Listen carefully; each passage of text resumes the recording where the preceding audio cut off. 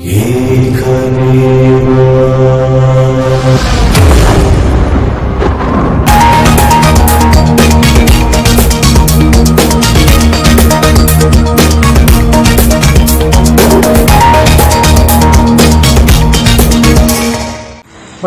நான் உங்கள் அழிவில்லா ஆட்சியாளன் சாந்தன் சவராஜ்.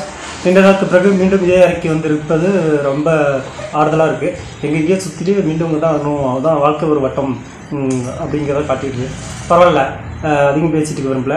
நேராக பாட்டுக்கு போயிடலாம் ஏன்னா பாட்டுன்னா நீங்கள் சினிமா பாட்டுன்னு நினைக்கிறீங்க. அதுவும் நான் ஒரு பாட்டு ரெடி ஆயிடுச்சு. அது ரெக்கார்டிங் முடிக்காமல் இருக்குது நல்லா வந்திருக்கு. சரி இப்போ நம்ம பா பாடல் பிரபஞ்ச உரை நடராஜர் கொடை அல்லது இயற்கையின் கொடை நான் அரம்பாடியார் கொடை இல்லை சாம்ராஜ் கொடை எதோ வச்சுட்டு மொத்தத்தில் இயற்கை தான் எல்லாத்தையும் செதுக்குது நடத்துதுங்கிறத மட்டும் மறந்துடாதீங்க. இந்த பாடல்கள்லாம் காலத்துக்கும் அழியக்கூடாது. அதனால் இது நீங்கள் எடுத்து சிடி வச்சு பண்ணியிருக்கீங்களா? இல்லை வெப்சைட்டில் நோட் பண்ணியிருக்கீங்களா? இந்த ஒரு நோட்டு போட்டு எழுதி இப்போ ஜெராக்ஸ் பிரிண்ட் அவுட் எடுத்து எப்படிலாம் பாதுகாத்து வைக்க முடியுமோ அப்படி பாதுகாத்து வச்சுருங்க. அழியாத இருக்கணும் அவ்வளோதான் ஏன்னா யார் எழுதுறாங்கிறது முக்கியம் இல்லை. யார் பாடினாங்கிறதுலாம் உங்கள் விஷயம் இல்லை. பின்வரும் மக்களுக்கு அறியப்படாத சொல்லப்படாத அரிய தகவல்களை நம்ம கொடுத்துட்டு போகணும். இப்போ நான் நினைக்கிற அழிவில் ஆட்சியாளன் அழிவில் ஆட்சியாளன்ட்டு நான் ஒரு கட்டத்தில் அழிஞ்சிடறேன்னு வைங்களே. என் உடம்பு அழிஞ்சிருதுன்னு வைங்களே. ஆனால் ஒளி ஜோதியாயிடுதுன்னு இல்லை ஆனால் அந்த படைப்புகள் வாழ்ந்து கொண்டே இருக்கும் இந்த யுகமுள்ள காலம் வரை.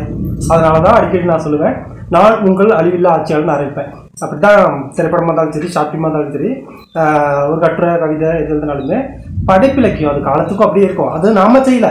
நமக்குள்ளேருந்து இயற்கை செய்து அதை நம்ம நம்ம கோரத்தில் வெளிப்படுத்திட்டு போயிடுறோம். அது பாதுகாக்கப்படுவீங்கன்னு எனக்கு தெரியும். நானே இல்லைனாலும் என் படைப்புகள் சென்றடைய வேண்டியவர்களுக்கு சென்றடைந்துவிடும்.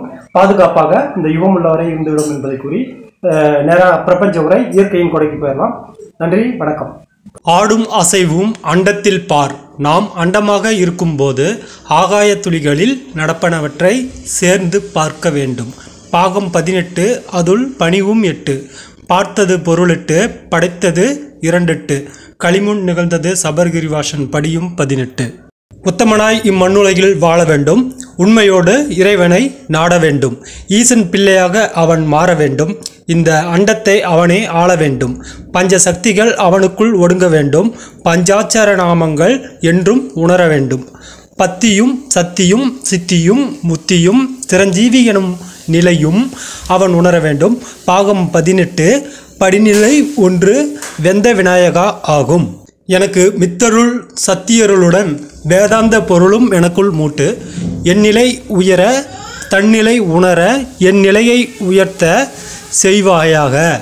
வாழைப்பூ போலிருக்கும் வாயழகும் பெரும் சாராக இருக்கும் வயிறழகும் நீண்ட தந்தங்கள் இருக்கும் பிள்ளை முகத்தழகும். உன்னுடைய நிலையை நீ உணரும் போது என்னுடைய முதல் படி இதுவே ஆரம்பமாகும்.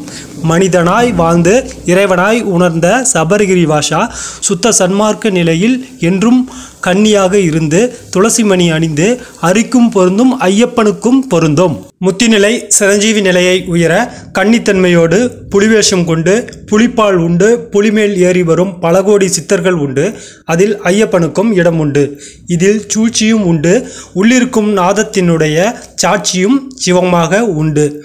மஞ்ச மாதா எனும் வாழைத்தாய் சன்னதியும் அங்குண்டு அனைத்து மகான்களுக்கும் மூட்டும் ஜோதியே கேரள சபரிவாசன் ஜோதியாம்.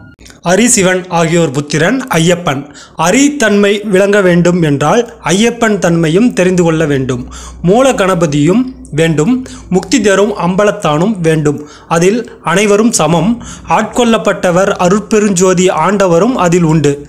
சிவநிலையே ஒன்று. உணர்ந்தவர்கள் பல கோடி. உணராதவர்கள் அதைவிட கோடி. உள்ளுணர்ந்து சென்று உன்னதமான நிலையை கொண்டவர்கள் சில கோடி. அதில் உருகி மருகி நின்றவர்களும் பல கோடி. உண்மையை அறிந்து கொண்டவர்கள் சில ஆயிரம் கோடி. ஒன்றுமே இல்லாது நின்னவங்க பல ஆயிரம் கோடி. உள்ளம் மகிழ்ந்தாக வேண்டும் உண்மை தெரிந்தாக வேண்டும். அறம் பாடுவதற்கு மனிதன் என்பவன் பொருள் அல்ல. காசு பணம் எது மீதும் பற்றற்று பரகதி மேல் மட்டுமே பற்றாவான் அறம்பாடி.